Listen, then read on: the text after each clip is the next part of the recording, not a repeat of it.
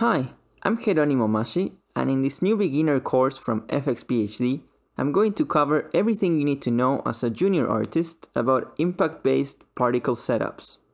The whole course is designed to mimic a production environment, where we're going to approach three shots of a car chase sequence.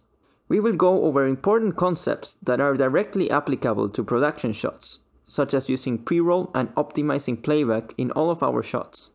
At the same time, I will go over the very basics of particles, starting with an easy example of bullets hitting the ground, where I will cover essential concepts such as the importance of having a good source with variation.